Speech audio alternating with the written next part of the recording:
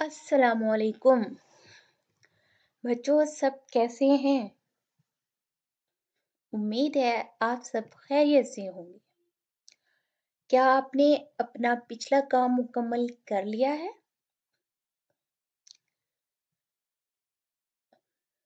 अगर नहीं किया तो कोई बात नहीं, उसको आप थोड़ा थोड़ा करके मुकम्मल कर लें।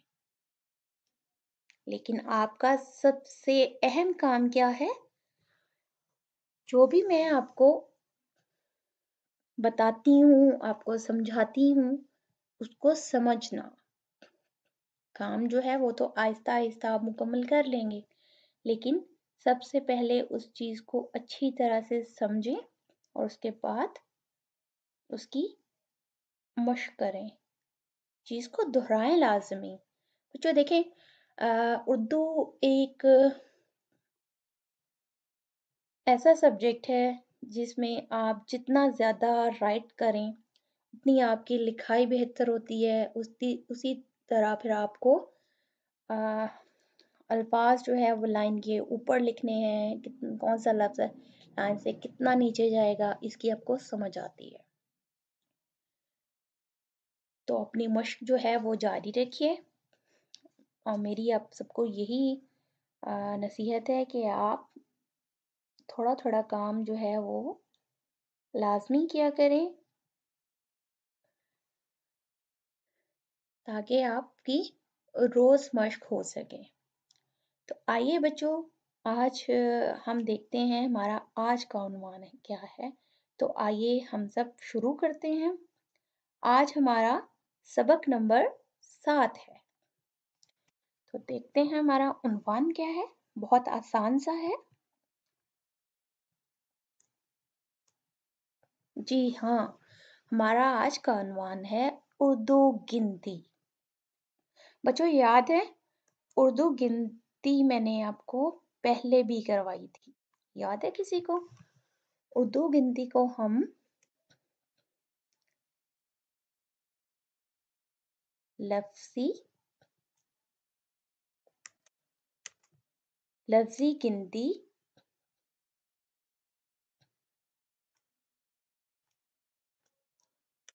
भी कहते हैं। याद है सबको? जी हाँ उर्दू गिनती और लफ्जी गिनती मतलब एक ही मतलब हुआ इसका। अच्छा बच्चों, पहले हमने ग्यारह से बीस तक की थी। आपने उसकी मश्क की है? अगर नहीं की या कर ली है तो उसको एक दफ़ा दोबारा से दोहरा लें। तो आइए आज हम करेंगे, पहले हमने 11 से 20 तक की थी और हम आज करेंगे 21 से 30 तक। तो आइए शुरू करते हैं। इक्कीस।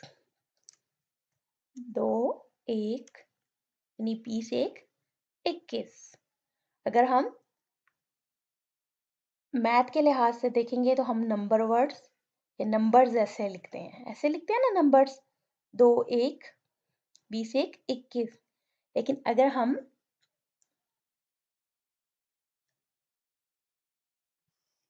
उर्दू में देखें तो अदद लिखते हैं, दो एक। दो इस तरह लिखते हैं। दो एक बीस एक, इक्कीस। इक्कीस।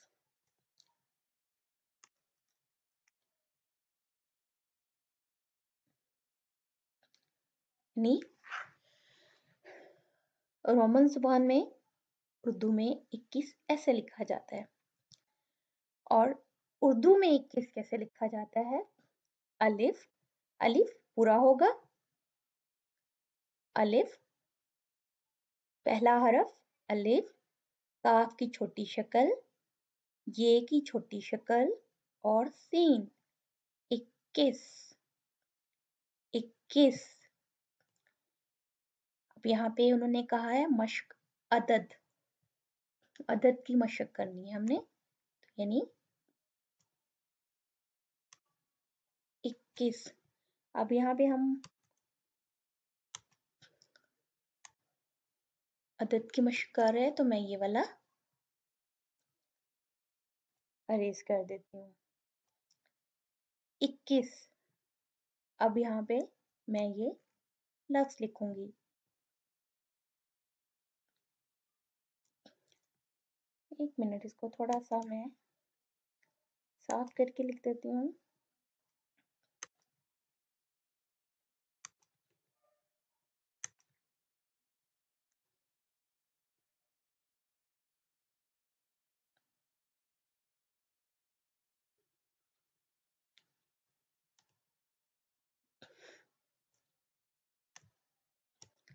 इक्कीस मैं इसको बार बार अरेज करके नहीं लिख सकती। इससे क्या होगा?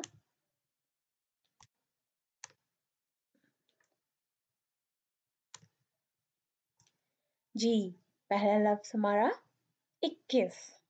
अलिफ की छोटी शक्ल काफ ये की छोटी शक्ल और सीन दूसरा लफ्ज दूसरा नंबर है बाईस। दत बाईस। बे की छोटी शक्ल। बे अलिफ बा, हमजा ये ई सीन बाईस। बाईस।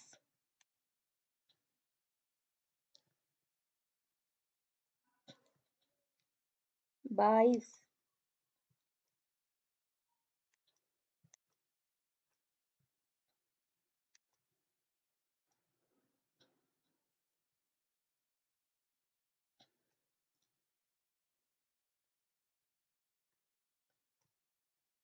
बाईस बेलिफ बा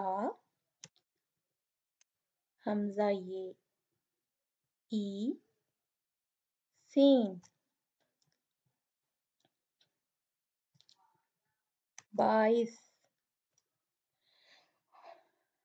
अगला लफ्ज देखें। नंबर तेईस। अदद में दो और तीन। तेईस। जब लिखने में होगा, कैसे? ते और ये, मिला के सारा लफ्ज, आपने पूरा लफ्ज जो है, वो बच्चों मिला के लिखना है। ते, ये, हमजा, ये, ई, ते, ई, स तेईस तेईस अच्छा बच्चों, अब यहाँ पे देख सकते हैं, कितने हरूफ को मिलाकर तेईस बनाया गया है। एक, दो, तीन, चार, पाँच। पाँच हरूफ को मिलाकर तेईस बना है। तेईस। बच्चों, यहाँ पे मैं ऐसा करती हूँ अलग अलग से हरूफ लिख लेती हूँ, जिनको मिलाकर बनाया गया है। ए, छोटी ए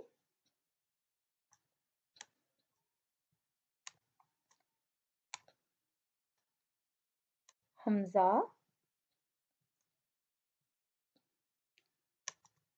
दोबारा लिख लेते हैं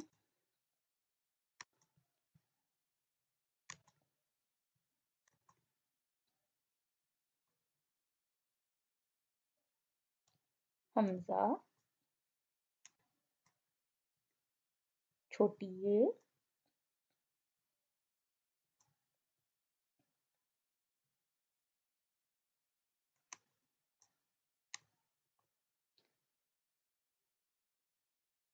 सीन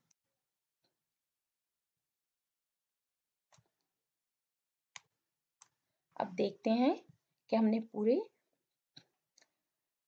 हरूफ लिख लिए हैं।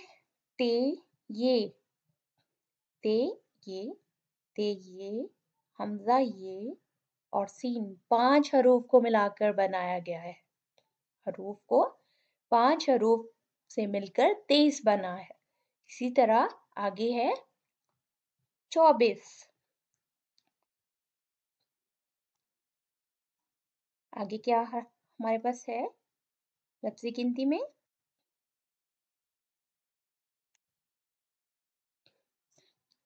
जी हाँ चौबीस।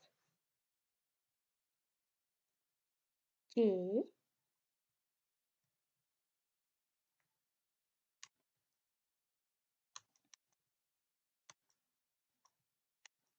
चले, यहाँ पे हम इसको गिन लेते हैं सिर्फ़।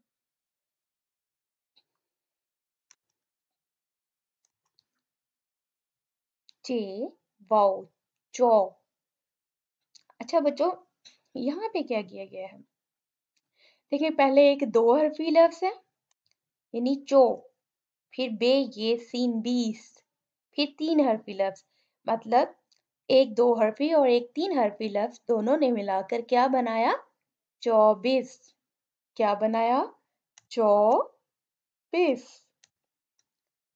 इसी तरह अगला हर्फ है पच्चीस। पच्चीस। पच्चीस। पे चे पच चे ये, ची, पच्चीस। सीन। बच्चे, आपने इसको बोलते कैसे हैं? इसको पढ़ते कैसे हैं? आपने ये भी ध्यान से इसका भी ध्यान रखना है। पच्चीस। पच्चीस।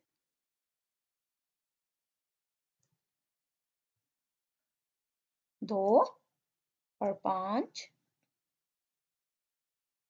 पच्चीस लिखने में इस तरह आ रहा है, ठीक है? हरूफ तहजी में कौन कौन से शामिल हैं? पे चे ये, सीन। मतलब एक, दो, तीन, चार। लेकिन चे के ऊपर एक साथ डाली हुई है। पच्चीस। आगे छब्बीस।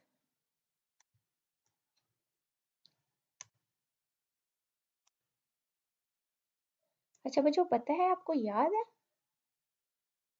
छब्बीस में छ छ यानी चे की छोटी शक्ल और दो चश्मी है। दोनों ने मिलके कौन सी आवाज़ पैदा की? चे नहीं, छ छ। कौन सी आवाज़ आएगी? छ छ, बीस।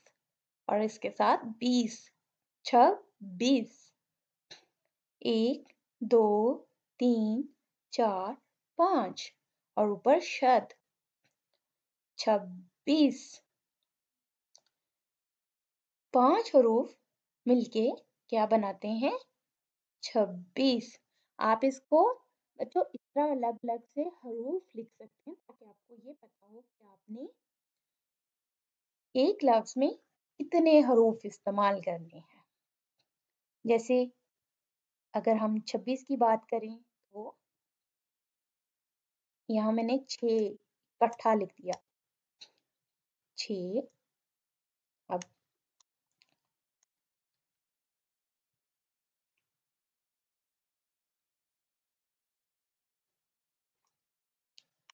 छब्बीस। अगर मैं चौबीस की बात करूँ चे और चो, बे सीन। बच्चों आप इसको जरा नीट करके लिखिएगा, ठीक है? चौबीस। इसी तरह, अगली स्लाइड पे चलते हैं, देखते हैं, आगे कैसे लिखा हुआ है, सताइस। सताइस। दो और सात। सताइस। अब लिखा कैसे गया है? सीन ते अलिफ्ता। सीन ते अलिफ्ता ये तीन हरफी लफ्ज है। सीन ते अलिफ्ता सीन, ते की छोटी शक्ल और अलिफ, इसको मिला के लिखा गया सत्ता। हमजा ये सीन। ईस सताइस सताइस सताइस अगला लफ्ज देखें। अट्ठाईस। बच्चों, यहाँ पे आपको पता है क्या इस्तेमाल किया गया है? जी हाँ दो चश्मी हे को फिर इस्तेमाल किया गया है। अलिफ, टे और दो चश्मी हे। क्या साउंड आएगी? क्या आवाज़ पैदा होगी? ठा अठा अ, ठा। ठा।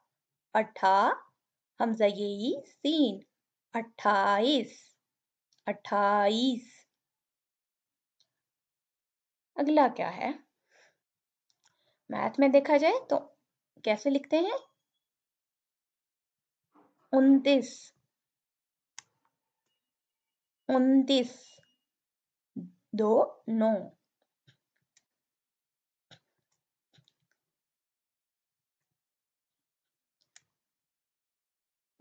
उनतीस अलिफ नून तीस सीन तीस उनतीस उनतीस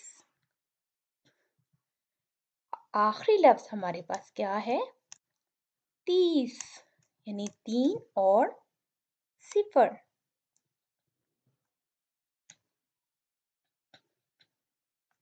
तीस ये तीस तीन तीस अब देखते हैं इसमें कौन कौन से हरूफ तहजी शामिल है। सीन, पहला क्या है? सीन ते अलिफ, हमजा, छोटी ये, और आखिरी क्या है? सीन। सीन ते अलिफ हमजा छोटी और आखिरी हफ़्ता हमारे पास सीन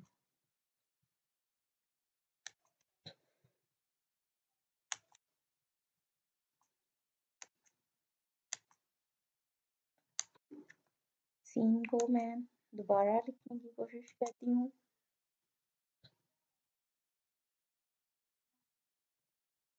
सीन अट्ठाईस अलिफ ठे अलिफ ठा हमजा ये सीन। अलिफ एक, टे और ठे दो, तीन, चार, पाँच, छ, सात। सात हरूफ से मिलकर अट्ठाईस बनता है। अलिफ, यहाँ पे मैं ये ए को इकट्ठा ही लिखूँगी। अलिफ और ठे अलिफ हमजा। ये। सीन। अट्ठाईस इसी। तरह उनतीस। अलिफ नून। ते। ये। सीन।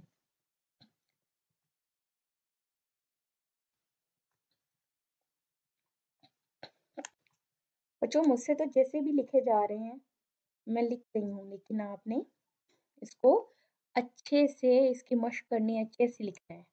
आखिरी, ते, ये और सीन। ठीक है? अच्छा बच्चों, ये थी हमारे हरूफ तहजी से लिखी गई लफ्जी गिनती। आपने क्या करना है? अब घर का काम क्या है आपका? स्कूल की तरफ़ से दी गई वर्कशीट पर लफ्जी गिनती की मश्क करें। बच्चों, आपको जो विंटर पैक दिया गया है, उसमें 21 से 30 तक लफ्जी गिनती दी गई है और साथ बॉक्सेस हैं। ऐसे पूरा टेबल बनाया हुआ है। आपने 21 से 30 तक लफ्जी गिनती की मश्क करनी है। एक, दो, तीन, यानी थ्री टाइम्स आपने लिखना है। उम्मीद करती हूँ आपको आज का लेसन अच्छे से समझ आ गया होगा। अगर कोई मसला हो, कुछ भी आपने पूछना हो, आप मुझसे, मुझे मैसेज कर सकते हैं। अपना ख्याल रखिएगा और इसकी जितनी हो सके बार बार मश्क कीजिए। अगर आप एक दिन में नहीं कर सकते तो इसको हाफ़ हाफ़ यानी आधे आधे करके कर लें। 21 से 25 तक, एक दिन मश्क करें। 26 से 30 तक, दूसरे दिन मश्क करें और एक दिन पूरी दोबारा से लिखें। ठीक है? तीन तीन दफ़ा आपने लाजमी लिखना है ताकि ताकि आपको अच्छे से लिखनी आ जाए।